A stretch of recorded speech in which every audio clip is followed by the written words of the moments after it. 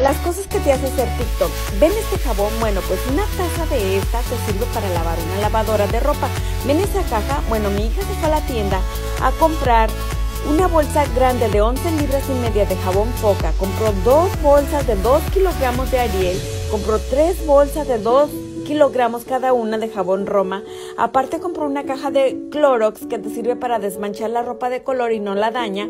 Y seis botellitas de esas de imparable aroma que huelen delicioso. Esas bolitas rojas y azules que dan una frescura a tu ropa. Bueno, primero mezcló todos los jabones en polvo y luego rayó cuatro barras de jabón sote y luego lo mezcló bueno, en esta casa se lavan todos los días.